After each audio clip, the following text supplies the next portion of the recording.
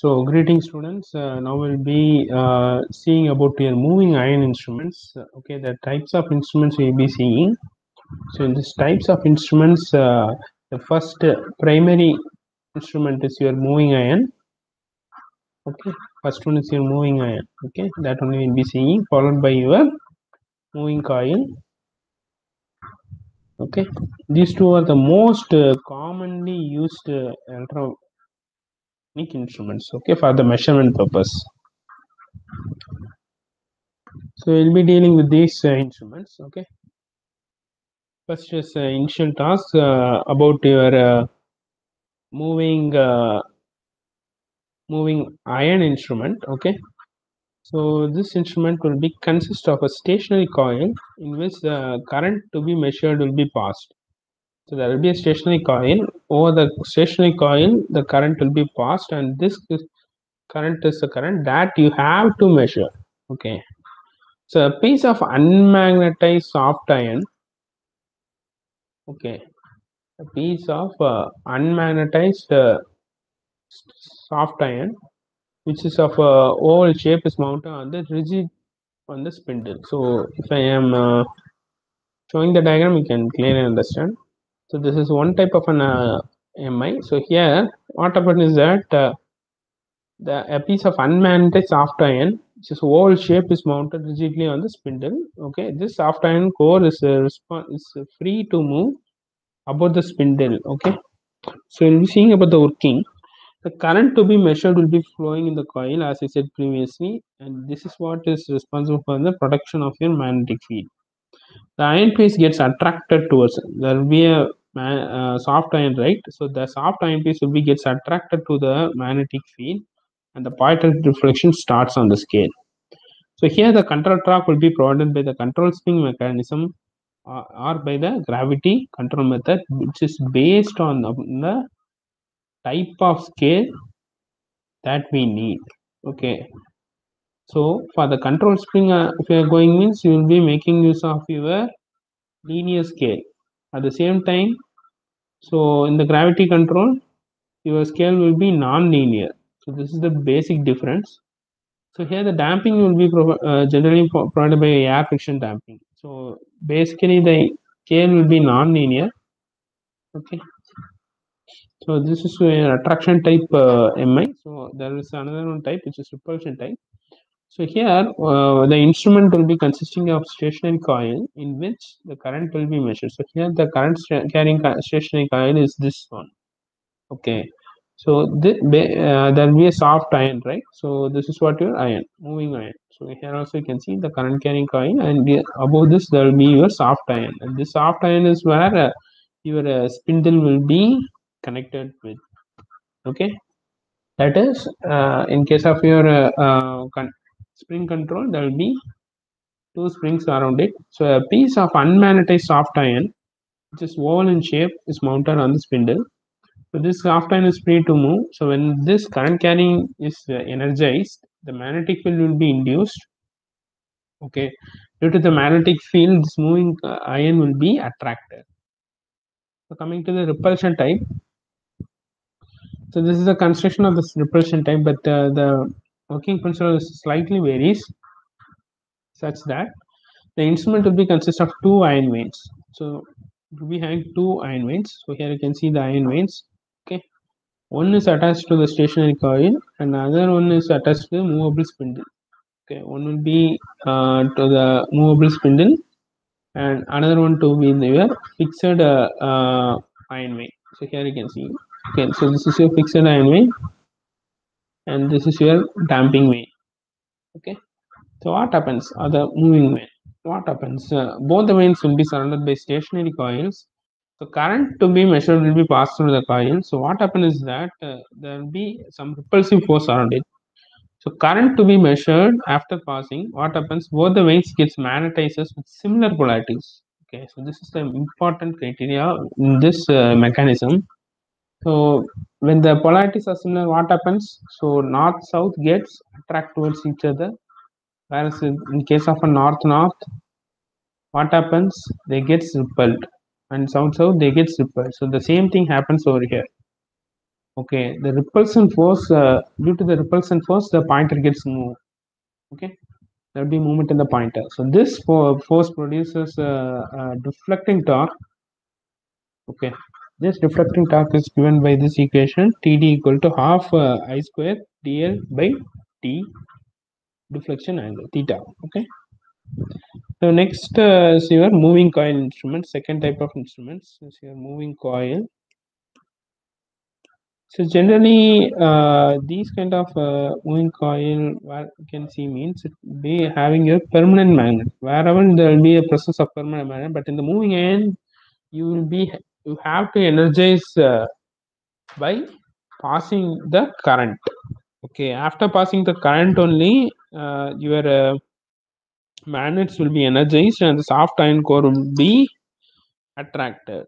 Okay, so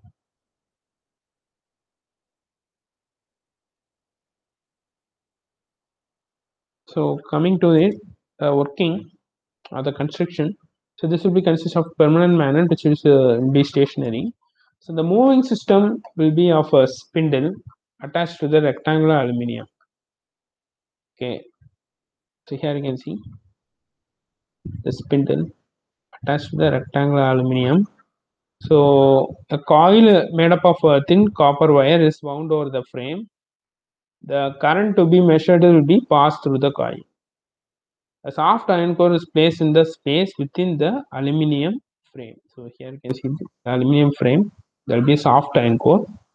Two spiral springs will be mounted on the spindle. So this is what basically happens with your control spring uh, uh, methodology. Okay. So pointer will be mounted on the spindle. So mirror is provided below the scale to avoid the parallax error. The spindle is uh, supported by the jeweled bearings. So coming to the working, the current to be measured is uh, passed through the moving coil. Okay. The current carrying uh, coil is uh, will be magnetized. Okay. Already there's a permanent magnet. Okay. According to the Fleming's left-hand rule, the torque will be produced on the coil, and the coil moves the pointer, and the pointer will be getting the deflection. So here the tapping torque will be TD will be directly proportional to your I. Okay, so some of the errors which is applicable in your PMMC is nothing but the weakening of the permanent magnet might uh, uh, affect, it might be the permanent magnet might get uh, weakened due to your uh, on your long period or the temperature effect. So springs might also get weakened due to the aging and the temperature effect. Okay, the change of resistance might also occur in your moving coil. So that, so that only the proper service of your PMMC are required at regular intervals. So some of the merits uh, means it will be having a uniform scale. Okay, uh, power consumption is very low. Okay, the only disadvantage uh, in this is, is that uh, it can be only used for your DC supply. Okay, whereas in your MI, it can be used for your both uh, DC as well as AC. But in case of your MC, can only use for your DC supply. Okay. So coming to the electrodynamic instruments. So this is how your electrodynamic instrument looks like. So here what happens is that the stationary part will be consist of two fixed coils. So this is one coil and this is another one coil in series. Okay, why are connected series means the current starting to flow in the first fixed coil will be always flowing through the second fixed coil. So the moving system will be consisting of coil mounted on the spindle, which is free to rotate uh, in space between the two fixed coils. So here it is very clearly from your diagram. The coil will be made up of a thin copper wire and will be and this uh, air core to avoid hysteresis. So here the hysteresis loss is a main loss that you have to consider in case of this electrodynamic instrument. So control torque will be always provided by a spring mechanism, spring control mechanism. So mirror will be always provided by for the parallax and damping is your air friction damping. So the current to be measured is passed through the stationary coil. So this is contain the series. This forms the magnetic field. Here you have to consider the, another important thing is that current to be measured will be passed to the moving coil also by the control springs. Whereas in the previous cases and all, the control springs uh, will not having uh, any uh, play, okay, any kind of play in the instruments. But over here comes the control spring uh, functionality is increased over in this type of instruments. Now the current carrying uh, moving coil will be placed in the magnetic field. So again, you'll be applying your Fleming's left hand for your force to find the force. So here, the torque proportion will be will be proportional to the current value, which is square. That is the current flowing through your fixed coil and your moving coil. Okay. So these kind of instruments uh, can be mainly used in both uh, of your uh, AC as well as uh, DC, which is a very uh, good uh, advantage. Can be used as an ammeter, voltmeter, okay, and dynamometer instruments also can be used. So the demerit is that it's more expensive. So it is scale is non-uniform. So the magnetic field produces very weak. Okay, so electrodynamic dynamic meter can be used as a voltmeter, ammeter, and wattmeter. That was another advantage. So while using as an ammeter, the fixed coils will be made up of uh, thick conductors to carry the load current. Okay. And when using as an uh, voltmeter, all the coils uh, will be made from less cross-section conductor.